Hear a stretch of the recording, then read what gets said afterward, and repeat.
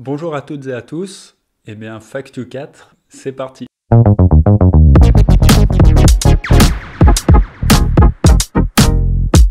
Alors cette semaine, on a une preuve de plus que Bruno Le Maire, notre ministre de l'économie, n'est pas le plus pertinent quand il s'agit de faire des choix en matière d'écologie. L'autoproclamé leader de l'énergie verte, NG, est rattrapé par la brigade anti-greenwashing. On a un nouveau rapport qui nous annonce que la forêt amazonienne va devenir une savane. On vous explique pourquoi c'est vraiment chaud. Et enfin, après tant de mauvaises nouvelles, on a fait des petites actus sur les solutions qu'on a.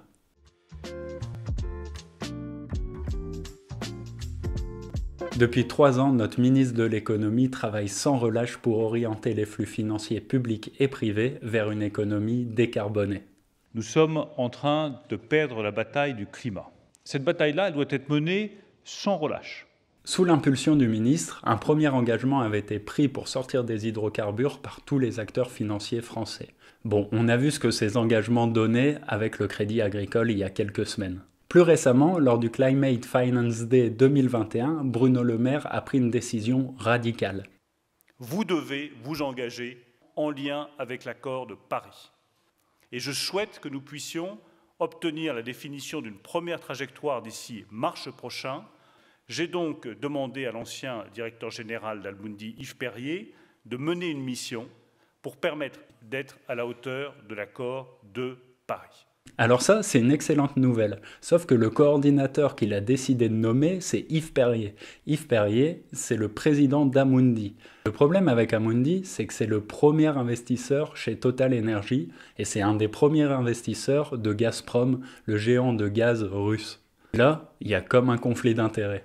Et Amundi présente également le problème de ne pas être eux-mêmes raccord avec leurs propres objectifs climatiques. Donc ce qui a fait l'actualité, c'est que Yves Perrier a rendu jeudi dernier son rapport au ministre de l'économie. Et les conclusions de ce rapport sont vraiment très tristes. En réalité, la seule conclusion du rapport, c'est qu'il faut faire un groupe de travail.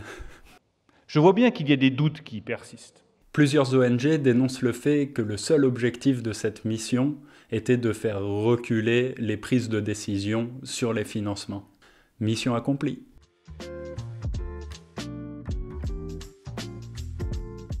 Pour vous mettre dans le contexte, Engie a une filiale qui s'appelle StoreNG. C'est le premier opérateur de stockage de gaz en Europe. Et une enquête menée par RMC et sa journaliste Marie Dupin nous révèle que cette filiale StoreNG relâche des centaines de milliers de mètres cubes de méthane dans l'atmosphère, et ça juste pour gagner du temps. Ils pratiquent ce qu'on appelle des mises à l'évent. C'est une pratique qui consiste à ouvrir les vannes du réseau de gaz et de rejeter le méthane qui est contenu dans l'atmosphère.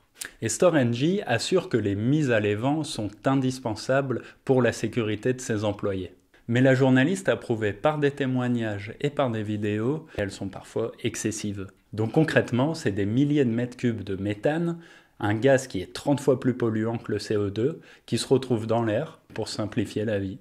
Mais si légalement StoreNG a l'obligation de tout faire pour limiter ses pratiques, c'est la classique. NG doit s'autoréguler et aucune sanction n'est prévue dans le cas où ils ne respectent pas leurs engagements. Mais le pire dans l'histoire, c'est que cette pratique est très courante, au niveau national comme au niveau international. Au niveau mondial, les mises à l'évent représenteraient le budget carbone d'un pays comme l'Australie. Pour conclure sur cette affaire, nous on trouve que c'est une news qui est assez positive finalement, puisque là on a un média comme RMC, qui n'est pas vraiment ultra concerné par l'écologie, qui commence à dénoncer des pratiques de grosses entreprises. Donc on voit bien que le combat écologique commence à rentrer dans les médias mainstream. Et ça c'est plutôt...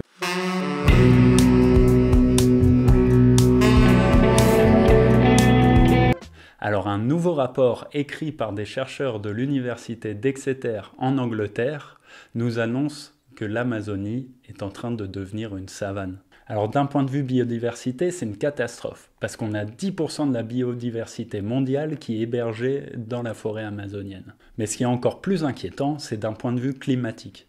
Puisque la forêt amazonienne a pendant très très longtemps été un puits de carbone, c'est-à-dire qu'elle absorbait plus de carbone qu'elle n'en rejetait. Sur cette dernière décennie, son rôle a drastiquement baissé, jusqu'à inverser les proportions.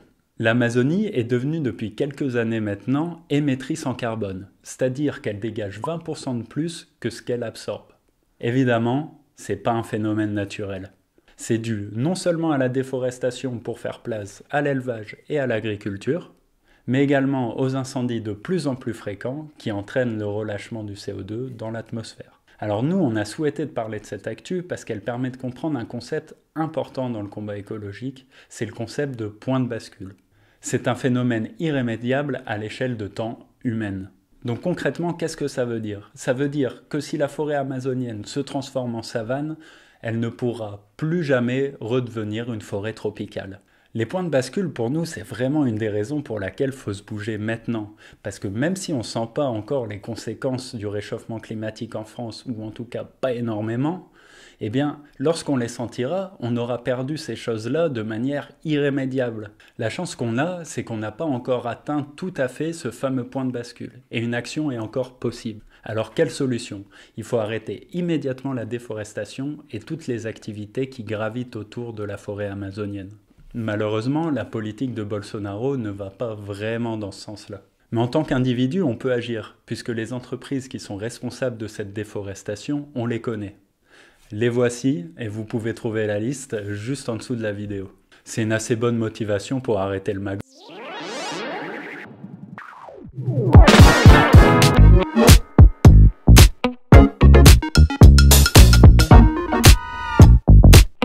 Quelques pistes de solutions et d'actions qu'on a trouvées cette semaine dans l'actualité. La première, c'est les marches climat qui ont eu lieu hier. Euh, la planète bleue ou bien quitte, euh, si on veut la conserver bleue, euh, c'est mieux d'agir dès maintenant. Donc oui, j'ai pas envie de finir cramé.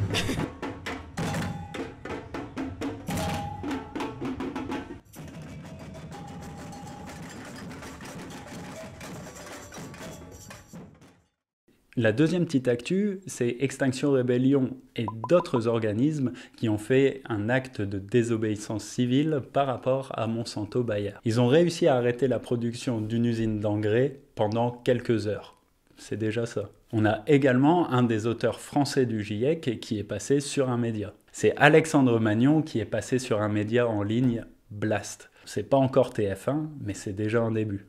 Bon, on se répète, mais pour nous, la solution, c'est de consommer éthique et de mettre l'argent là où il faut, puisque c'est en finançant des projets vertueux qu'ils seront plus accessibles. N'hésitez pas à liker, commenter et partager la vidéo si vous l'avez appréciée. En tout cas, on a de plus en plus de soutien et de retours positifs. Donc merci beaucoup. À la semaine prochaine.